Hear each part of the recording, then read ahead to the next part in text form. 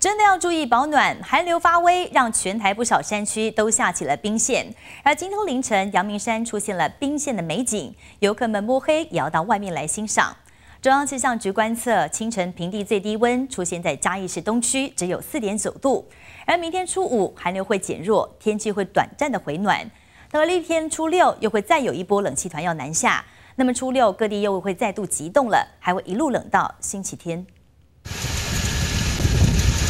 场一片漆黑，但在灯光照射之下，还是明显可见白色的冰线纷纷飘落。民众摸黑又顶着寒风，也要到室外体验冰线之美。而脸书粉砖天气特辑也抛出了照片分享，宜兰花莲的朋友望上山头都能看到明显的结霜或积雪。但随着水汽减少，降雪几率会再降低。过年期间赏雪可要把握初四好机会。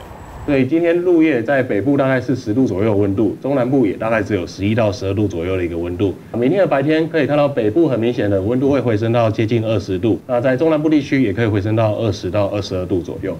初五白天起，寒流减弱，各地会短暂回温，但另一波冷气团又紧接而来。初六开始，北台湾温度急冻，低温又会下探十度以下，一路冷到初八才会回暖。明天北部雨量还是比较多的，然后东半部还是有一点下雨的机会，中南部则是持续是一个晴到多云，可以见到阳光的一个天气形态。